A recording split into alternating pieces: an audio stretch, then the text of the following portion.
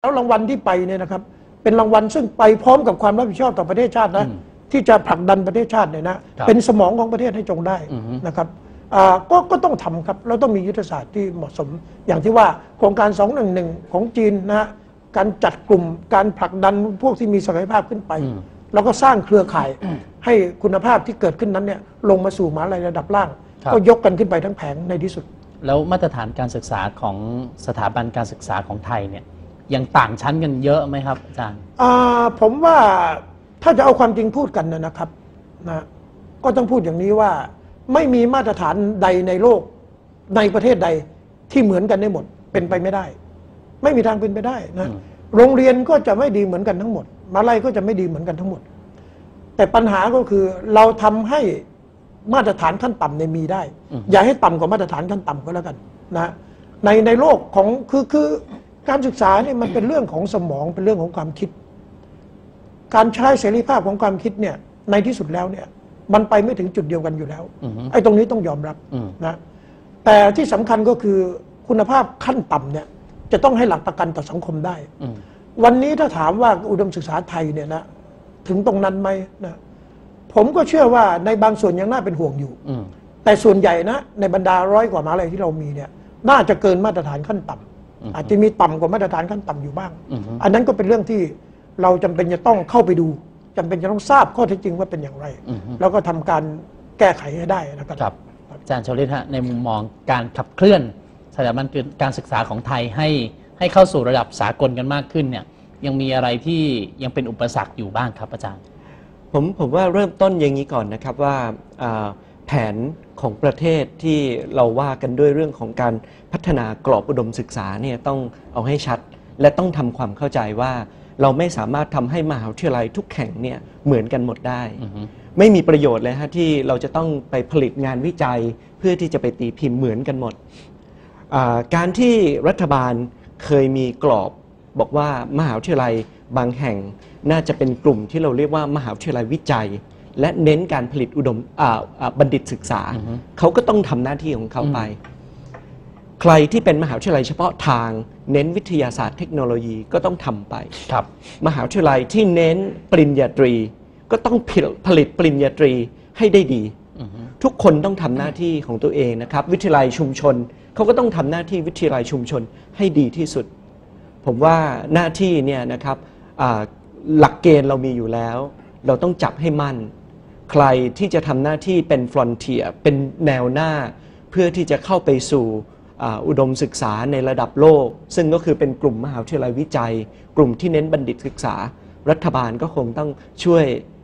สนับสนุนงบประมาณส่วนนี้ เพื่อให้เขาไปถึงทุเอ่อไปถึงสิ่งนั้นได้นะครับอือฮึและในขณะเดียวกันมหาวิทยาลัยที่รู้ตัวเองว่า เราน่าจะต้องเน้นการผลิตปริญญาตรีให้ดี ก็ต้องทำให้ดีในหน้าที่ของตัวเองมีอยู่อือฮึและที่สำคัญที่สุดนะครับก็คือแผนทั้งหมดเนี่ยเหมือนเหมือนกับที่เราบอกวิธีการปลูกต้นไม้นะครับครับถ้าจะปลูกต้นไม้ให้เติบโตเร็วที่สุดวิธีการเดียวครับ ก็คือต้องปลูกตั้งแต่วันนี้อือฮึถ้าหากว่าเราอยากที่จะเห็นอุดมศึกษาของไทยมีการพัฒนานะครับ เราก็คงจะต้องทำทุกๆอย่างให้มันดีขึ้นตั้งแต่วันนี้ ดูว่าเราอยู่ที่ไหนนะครับทำใจให้ได้ แล้วก็วางแผนรับมือกับมัน แล้วก็เดินหน้าแก้ไขจุดอ่อนที่เราเห็นนะครับ เมื่อเราเปรียบเทียบกับเวทีโลกครับ การส่งเสริมจากรัฐนี่สำคัญที่สุดไหมครับสำคัญครับอ่าเพราะว่าอ่าต้นทุนการศึกษาเนี่ยนะครับมันเป็นต้นทุนมหาศาล การที่เราเอ่อจะไปผลักภาระส่วนนี้ โดยหลักเลยเนี่ยนะครับให้กับเอ่อนักศึกษาโดยตรงเนี่ยผมคิดว่าลำบากทำได้ยากมากนะครับอ่าภาครัฐเนี่ยจำเป็นอย่างมากเลยนะครับที่จะต้องอาสนับสนุนงบประมาณ ในเรื่องของการพัฒนาการศึกษา ในเรื่องของการเอ่อส่งเสริมและพัฒนาอ่าสิ่งพื้นฐาน สาธารณูปโภคพื้นฐานนะครับในเรื่องของงบประมาณไม่ว่าจะเป็นการเข้าถึงข้อมูลนะครับเรื่องของอินเทอร์เน็ตข้อมูลฐานอ่าฐานข้อมูลข่าวสารในในระดับโลกนะครับเรื่องของอาคารเครื่องมือวิจัยอือฮึสิ่งเหล่านี้มีความสำคัญอย่างยิ่งนะครับอือฮึก็อาจารย์ก็ในฐานะที่ตอนนี้ก็ยังอยู่ในมหาวิทยาลัยด้วยเนี่ยครับสิ่งที่คิดว่าอยากจะฝากหรือว่าเรียกร้องให้ภาครัฐเข้ามาดูแล มากที่สุดเพื่อให้คุณภาพการศึกษาที่ดีอยู่แล้วเนี่ยดีมากขึ้นเนี่ยตรงไหนบ้างฮะผมเห็นว่าแผนของรัฐบาลเนี่ยก็เขียนไว้ดีอยู่แล้วนะครับ แผนนะฮะแผนดีอยู่แล้ว สิ่งที่สำคัญก็คือเราจำเป็นที่จะต้องทำมันวันนี้ครับครับอ่า เราอย่ามองว่าทุกมหาวิทยาลัยเหมือนกันหมดอือฮึต้องแยกแยะมหาวิทยาลัย ไม่ได้มีมหาวิทยาลัยแห่งใดสำคัญมาก หรือว่าน้อยกว่าแห่งใดเลยนะครับครับมิฉะนั้นทุกคนก็จะมีด็อกเตอร์กันหมดอืมก็จะไม่มีใครไปทำหน้าที่อย่างอื่น ซึ่งมีความสำคัญด้วยบริบทที่แตกต่างกันอือฮึมหาวิทยาลัยก็เช่นเดียวกันนะครับ เพราะฉะนั้นถ้ารัฐบาลเห็นว่าใครพอที่จะไปได้ ถ้าเห็นว่าใครเป็นมหาวิทยาลัยวิจัยก็ต้องจริงใจ แล้วก็ทุ่มงบประมาณให้กับเขา เพื่อผลิตงานวิจัยผลิตบัณฑิตศึกษาออกมา ให้ดีและมีคุณภาพอือฮึมหาวิทยาลัยใดที่ควรจะเน้นเรื่องของการเรียนการสอน ก็ช่วยอนุเคราะห์นะครับส่งเสริมเขาให้เป็นมหาวิทยาลัยที่เน้นการเรียนการสอนระดับปริญญาตรีให้ได้ดีอือฮึครับครับอาจารย์เกรียงศักดิ์ครับกับการพามหาวิทยาลัยของไทยไปสู่ดวงดาวเนี่ยต้องเริ่มบันไดขั้นแรกตรงไหนบ้างฮะคือถ้าเลือกแค่บางแห่งเนี่ยมันต่างกับการยกทุกแห่ง ผมได้พูดไปแล้ว แล้วผมก็คิดว่ามหาลัยขั้นต่ำสุดที่อดรนทนไหว ที่เราจะยอมรับได้เนี่ยอือฮึจะต้องยกมาตรฐานสูงกว่านี้อีก พอสมควรครับนะฮะในความเห็นผม นั่นหมายความว่าเราต้องใส่ความพยายามในทุกมิติลงไป ทั้งงบประมาณ บุคลากรครับการบริหาร ทีนี้มันมีมิติบางประเด็นหลายอย่างที่จะต้องทำถ้าจะไปสู่ระดับโลกของบางแห่งครับประการแรกฟันธงผมกล้าอยากจะกล้าพูดอย่าง ที่ให้ตกใจหน่อยได้ไหมฮะคือจำเป็นอย่างยิ่งฮะจะต้องเปิดให้อาจารย์ทั้งโลกเนี่ย สมัครเข้ามาเป็นอาจารย์ในมหาลัยแห่งนั้นอือฮึเพราะว่าตัวเลือกทั้งโลกเนี่ยมันจะทำให้เราได้คนที่ดีกว่า เชื่อตัวเลือกในบ่อแคบๆในประเทศไทยอือฮึนั่นหมายความว่าเราต้องจ่ายตังค์เขาในราคาโลก เพื่อจะสามารถได้อาจารย์ เพราะความที่มีความรู้เนี่ยมาวิจัยเก่งมา ความรู้ไม่มีสัญชาติอือฮึนั่นแนวทางของผมยังจึงอยากฝากเลยนะฮะ มหาอะไรที่อยากไปดวงดาวจำเป็นต้องเริ่มเห็นอาจารย์ต่างชาติมานั่งเต็มไปหมด ไม่ใช่แต่อาจารย์ฝรั่งขี้นกมาสอนภาษาอังกฤษนะฮะแต่อาจารย์จริง ๆ ที่มีภูมิความรู้ในสาขาที่ตัวเองต้องการอือฮึที่มหาลัยต้องการความแกร่งอืมจุดนั้น นั่นหนึ่งสองจะต้องเกิดเป็นมหาวิทยาลัยที่ต่างชาติเริ่มมาเรียนครับเพราะบรรยากาศการเรียนรู้มันไม่ใช่แค่อาจารย์อย่างเดียวมันเป็นเรื่องของเพื่อนของบรรยากาศ composition การรวมหมู่ของนักศึกษาจากที่ต่างๆ เวลานี้ถ้าเปลี่ยนเราเป็นบรรยากาศ background เดียว การเรียนรู้มันจากแหล่งเดียว ความคิดเดียว มาอะไรดีๆ ทั้งโลกเนี่ยเขามาจากหลาย ๆ ที่เขาพยายาม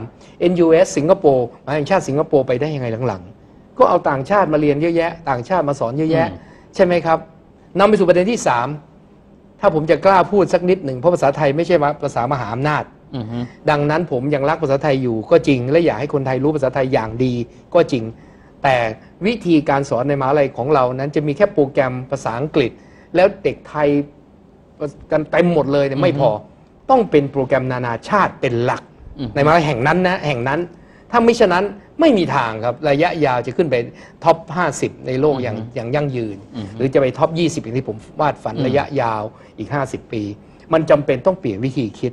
นะฮะ ต้องจัดการมหาลัยใหม่ ในการเชิงบริหาร เวลานี้เนี่ยมันเป็นการเล่นเกมการเมืองในมหาลัยเสียเยอะ การเลือกสรรอธิการบดีต่างๆจำนวนมากเนี่ยอืมเป็นการ lock spec อืมนะฮะมีโผหมดอืมดังนั้นถ้าเบื่อตัวผู้บริหารไปเลือกกรรมการเอ่อที่เป็นสภามหาวิทยาลัยกรรมการมหาวิทยาลัยก็กลับมาเกาหลังผู้บริหารอืมอันนี้ไม่ใช่ทุกแห่งนะ แต่ว่าครับโดยเฉลี่ยมันมันถูกกล่าวหาอย่างนั้นตลอดอืมอืมแล้วมันก็มีมูลบางอืมระดับทีเดียวละ อือฮึอย่างนี้ใช้ไม่ได้ครับ หมายความว่าผู้บริหารต้องเป็นตัวจริงอืมที่บริหารและนานานาชาติได้จริงอือฮึๆถ้าทำอย่างนั้นได้และไม่มีเส้นไม่มีสาย เหมือนเรื่องอื่นในประเทศไทยเนี่ยครับครับเราโง่กับสิงคโปร์ตรงไหน แต่ทำไมสิงคโปร์มันชนะเราในทุกด้านเลย ก็มันเอาคนที่เก่งที่สุดไปนั่งในทุกที่ที่ควรนั่ง ไอ้ของเรานี่ชื่อที่โผล่มาในหนังสือพิมพ์ในแต่ละอันเนี่ยมีพิธีรีตองในการสรรหาทั้งสิ้นอืมแต่มีโผ เมื่อเป็นเช่นนี้ เมื่อเล่นพวกกันอย่างนี้ และไปเล่นพวกถึงเรื่องสำคัญของชาติ ครับ มันก็จะเกิดปัญหาตามมาในอืมที่สุด ผมจึงบอกว่าเรื่องการกำกับมหาลัย เรื่องการบริหารมหาลัย ทั้งสภามหาลัยก็ต้องเข้าที่เข้าทาง ทั้งตัวฝ่ายบริหารต้องเข้าที่เข้าทาง มันจึงจะไปได้นำมาสู่ตัวนักศึกษาอือฮึวัตถุดิบที่เรามีวันนี้เนี่ย เราชุนระบบการศึกษาจากข้างล่างป้อนเข้ามาเนี่ยครับ ตั้งแต่อนุบาลประถมมัธยมมาเนี่ยเป็นระบบที่เล่นตัวเลขเพื่อทำให้เข้าสู่กระบวนการศึกษาที่เชิงปริมาณ อืม เสียเยอะโรงเรียนส่วนใหญ่เนี่ยตกมาตรฐาน ใช่ไหมครับ จึงมีแจ๊ะแป๊ะเจ๊ยอยู่บางโรงเรียน อืม มี4ี่ห้าหมื่นโรงเรียน มีคนอยากเข้าอยู่กี่ร้อยโรงเรียน 473 โรงเรียน ผมนับมาแล้ว อือฮึฉะนั้นแปลว่าอะไร แปลว่าวัตถุดิบมีปัญหาในภาพรวม ครับแต่ถ้าเราแค่ไปเลือก คล้ายๆไปเลือกครีมมานะคนเก่งๆจากโรงเรียนต่างๆ มาใส่ในมหาลัยชั้นนำแล้วสักแห่งหนึ่งเนี่ย หมูไม่ยากอืมแต่ที่เหลือเนี่ยเละเทะเลยถ้าอย่างนั้นอืมแปลว่าเหมือนเราไปพลิกคนไปเล่นโอลิมปิกวิชาการเนี่ยก็ไปขุนเขาไปตั้งไปอืมค่ายเขาเนี่ยได้ครับได้เหรียญกลับมาบ้างอืมแต่มันไม่ได้สะท้อนการสร้างชาติทั้งระดับ ถ้าจะให้ยั่งยืนต้องยกระดับข้างล่าง โดยภาพเฉลี่ยให้ขึ้นมาลอยขึ้นมาด้วย ถึงระดับหนึ่ง จนเราอดรนทนไหวว่าต่ำกว่านี้ไม่ได้ อือฮึ แต่สูงกว่านั้นปล่อยเลยให้ครับแข่งแล้วจิ้มผมใช้คำว่าจิ้มแห่งที่เราอยากจะจิ้มจริงอือฮึๆให้เข้มข้นจริง ครับๆทำแบบนั้นจะมีสิทธิ์ อืม นั่นหมายความว่างบประมาณแผ่นดินช่วงรอยต่อ ต้องช่วยเขา อย่างมีเหตุมีผลนะฮะกติกาต้องบอกล่วงหน้าให้เขาทุกคนเป็นธรรม ครับ เพื่อแข่งกัน